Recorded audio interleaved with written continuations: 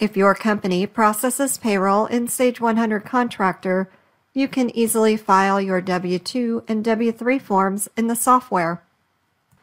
In this video, learn how to process employee W-2s and employer W-3 forms using Aatrix.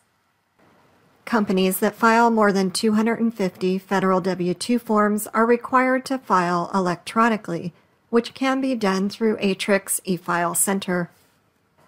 Most companies perform the payroll close year process before the first pay period in the new calendar year and before it's time to print W-2s for the previous year. During the close year process, employee data transfers to an archive data folder. To print W-2s, use this archive folder. Log into your software, select Show Archives, and choose the Payroll Archive Company. The default archive company desktop color is red, but in 7.1 company information, you can specify a color to meet your needs and visually alert you the company archive you are currently using. After you log into the archive and you're ready to begin the W-2 process, open payroll, federal and state tax filing, and federal forms. A message displays when you work in archive company data folders. You have the option to turn off notifications while you work in the archive. This resets when you close and open the company. Click OK to continue. Sage uses Aatrix to process 1099s and W-2s. In the Federal Forms window, you see a list of available items. There are two ways to check for updates. Click the Run Report button or select Options Update Forms. The preferred update method is Automatic Update. Learn more in the Apply Tax Form Updates lesson. After you apply updates, select W2 W3. Verify the year in the criteria area. Then click Run Report. Aatrix compiles your data into a usable format. The W2 Setup Wizard opens. You have three options to process W2s. The first two test drives are trial runs in which the program does not save changes you make. The third is to process final W-2s, where you still have the option to make changes and reprint W-2s before the final print or e-file. Make a selection and click Next. Verify the payer tax ID. This is either EIN, Employer Identification Number, or SSN, Social Security number, specified in 7.1 company information. Click Next to continue.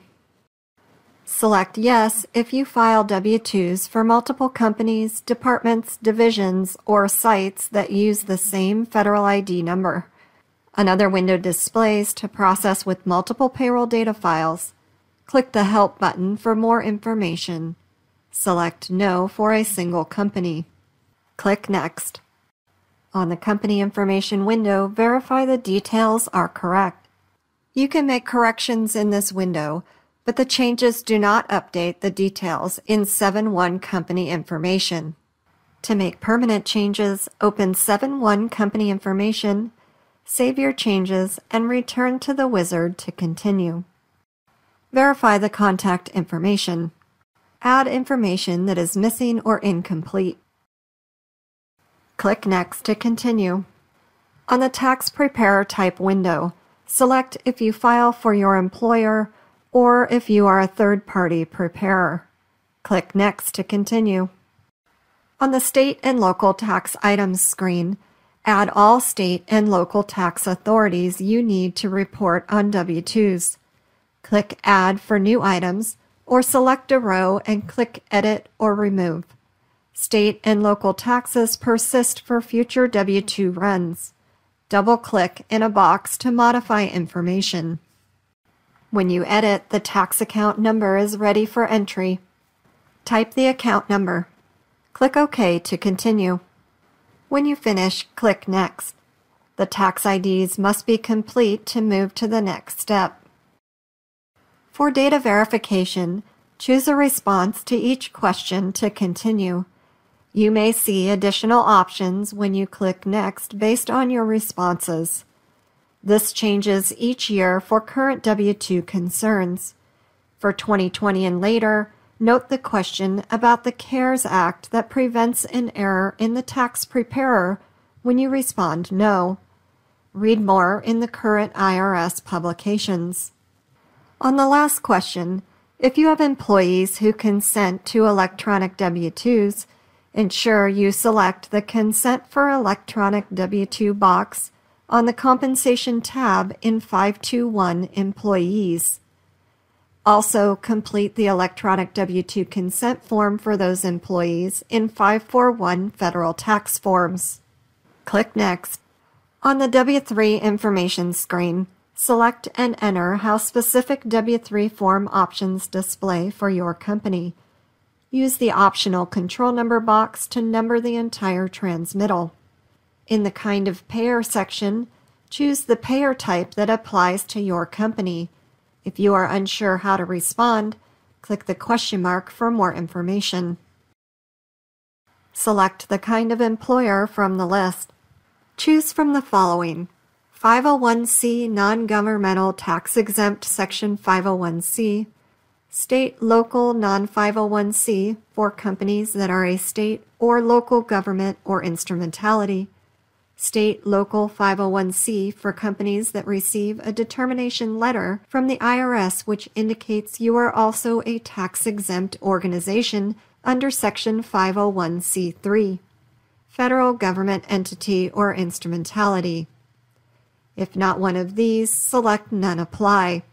Refer to IRS Publication 557 for more information about 501c3 tax exempt organizations and view the IRS General Instructions for Forms W 2 and W 3 for more information on how to complete these options. If a third party sick pay was paid to any employees during the year, Select the box and enter the amount of income tax withheld. Enter an establishment number to identify separate establishments in your business. If you used another employer identification number on Forms 941, 943, 944, or CT1 submitted for the current filing year that is different from the EIN reported on the W3 Box E, enter the number in the other EIN used this year box. If the business was terminated during the filing year, select the box. Click Next when you complete the entries. Aatrix loads the information into the Tax Preparer window. The bar across the top shows your process and the information you need to enter. In the grid, the boxes with a highlight are active for verification in the current step. In the first step, verify the employee names, social security numbers, and address information. The program verifies the social security number is valid.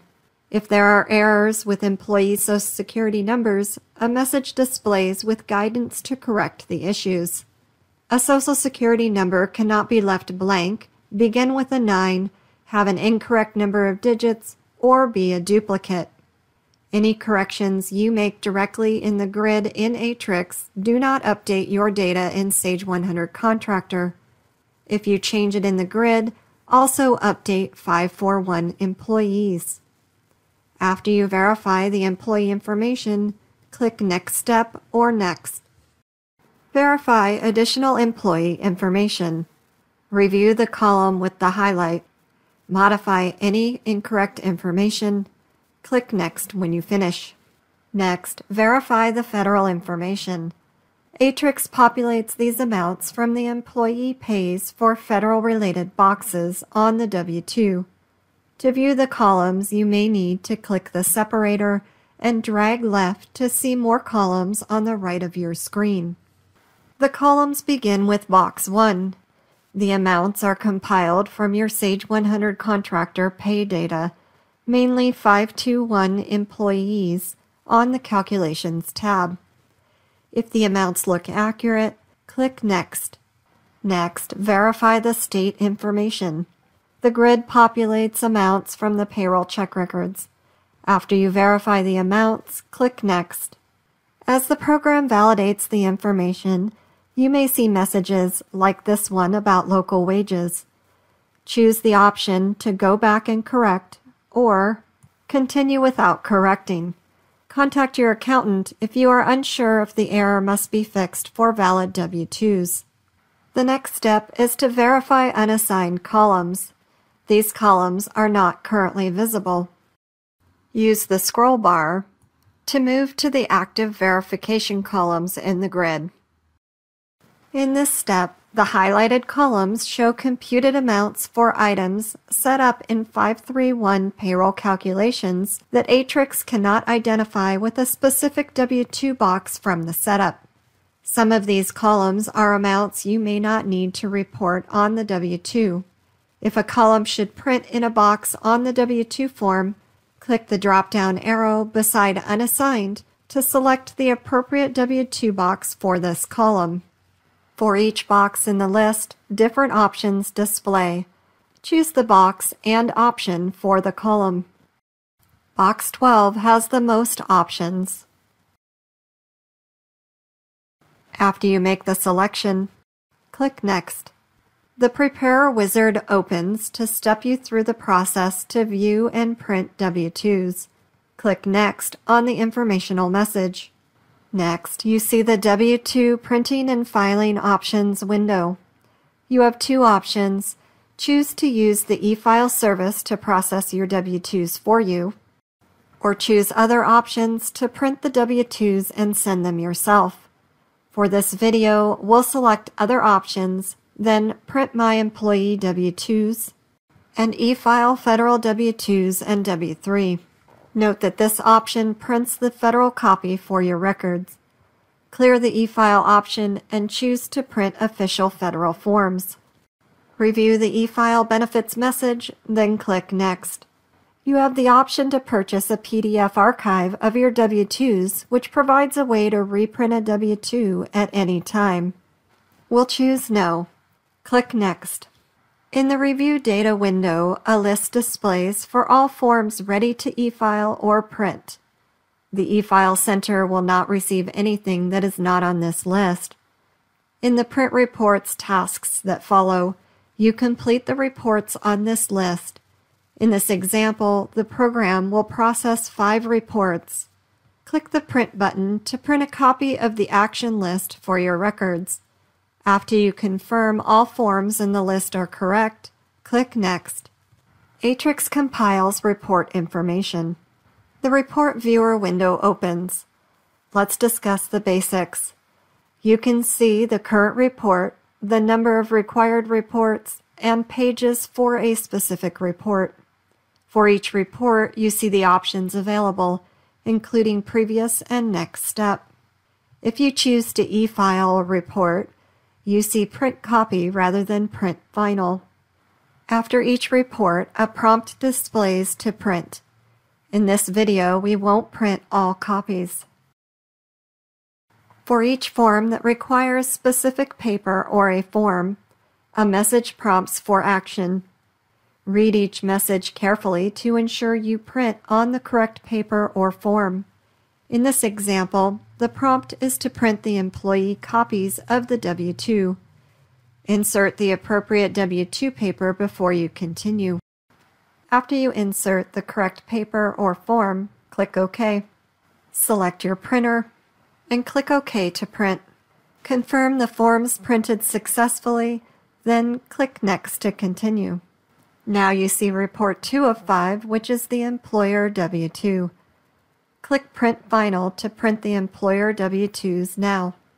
A prompt displays to insert specific paper into the printer.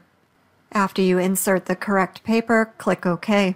Confirm the forms printed successfully and click Next Step. Report 3 of 5 is the federal forms. Earlier, we chose to e-file federal forms. This is your copy of the federal W-2s. For this video, we'll click No. Then click Next Step. Report 4 of 5 is the Federal W-3. The 941 designation is based on the type of preparer from the company setup wizard. When you're ready, print the form. We'll select No. Report 5 of 5 is the Employee W-2 Notice. Print a single copy and make copies to provide to your employees. Click Next Step to complete the filing. If you choose to e-file your reports, the program connects to the Aatrix eFile Center. To register for the eFile Center, go to the website at efile.aatrix.com and click Enroll. Follow the registration instructions. If you already registered for the Aatrix eFile Center, enter your username and password and click Login. After you log in, follow the prompts to select a date to file your forms. Aatrix files the information based on the date you specify in this process. If you selected any services with an associated fee, there will also be a prompt to provide a payment method. After you complete the process, to check the status of your filings, log into your account at efile.aatrix.com. Next, the program opens the W2 History File Options window. The last completed actions grid displays the form type and the last completed action date for each form. Below the grid, click View Detailed List of Completed Actions to view all actions taken on the listed forms. Or click View Instructions on Returning Later to see required steps to take actions later. Under the available actions, Three actions are always available to perform from this screen. The first is Reprint Completed W-2s, which allows you to reprint a copy of any completed W-2 filing done in the W-2 wizard. The next is e-file or print incomplete W-2. This is how you file additional W-2 copies you have not yet processed. If you printed recipient copies from the W-2 wizard, and now you need to e-file federal and state copies, select this option. When you click Next, the W-2 printing and filing option window opens. Finally, select Correct Completed W-2s to make corrections to W-2 copies already processed. When you click Next, the program returns to the beginning of the W-2 filing process where you can make corrections to the W-2 data. If you want to restart the filing process, choose Start Over. The program returns to the beginning of the process. You may do this if you have new payroll data or if you want to clear the previous history and start over. Select the EW2 password lookup if you need to update an employee email address to send the EW2 password or if you want to look up an electronic password. Make a selection and click Next or click Close to exit. Your W-2 filing is complete. Follow the progress on efile.aatrix.com. In this video, you learned how to process W-2 and W-3 forms using the Aatrix wizard.